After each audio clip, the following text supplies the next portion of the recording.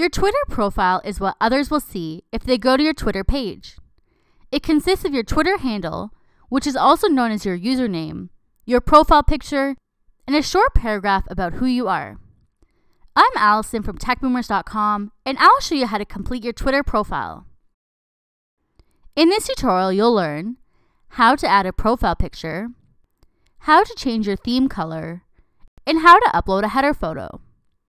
On your Twitter homepage, click your picture in the top right corner.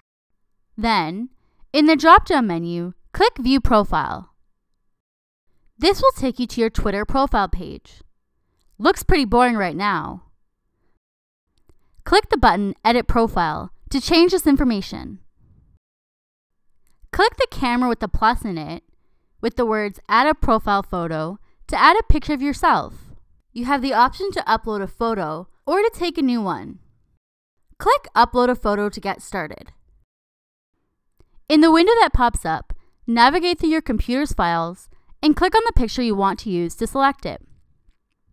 Then, click Open. Move the slider at the bottom to zoom in or out of your picture. Click and drag your picture to reposition it. When you're done, click Apply to save these changes.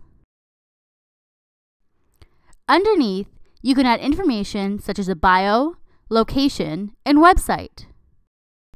Click and type in the box Bio, and then start typing something about yourself. Keep it short, as you're only allowed 160 characters. You can list your hobbies, profession, or your favorite movies. Add your city by clicking and typing it into the location box. If you have a website, for example, a traditional web blog or a professional website, you can click in the box labeled Website and type in its web address.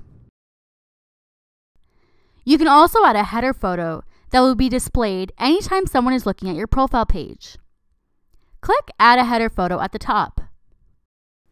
Navigate through the window that pops up and select a file from your computer.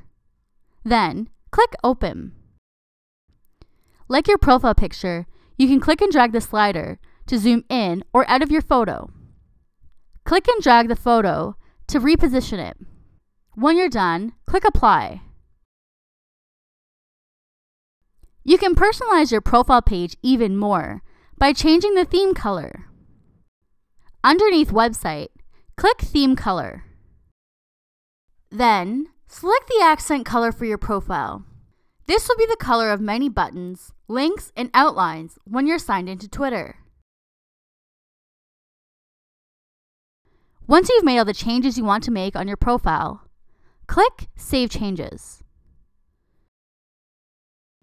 Once you're done, your profile page will look something like this. It definitely has more personality now, don't you think? Now I'll show you how to become better acquainted with a few areas on Twitter. Following will show how many people you're receiving updates from on Twitter. By clicking here, you'll get a full list of who you're following including the thumbnails and handles of the user. Click Tweets to go back to the previous screen. Who to follow on the right will show Twitter's recommendations of who you should follow based on your interests or other accounts that you follow. As mentioned in our Twitter terminology tutorial, trends are the most popular hashtags on Twitter right now. This is an up-to-date list of what's trending. Click on one of the links to be taken to a timeline containing tweets by everyone who has mentioned that hashtag. And that's a quick overview of how to set up your Twitter profile. Now, go add some personality by customizing yours. Want to learn more about Twitter? Click here.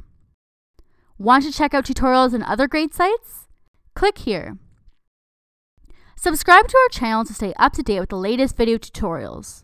And as always, comment below if you have any questions, comments, or concerns.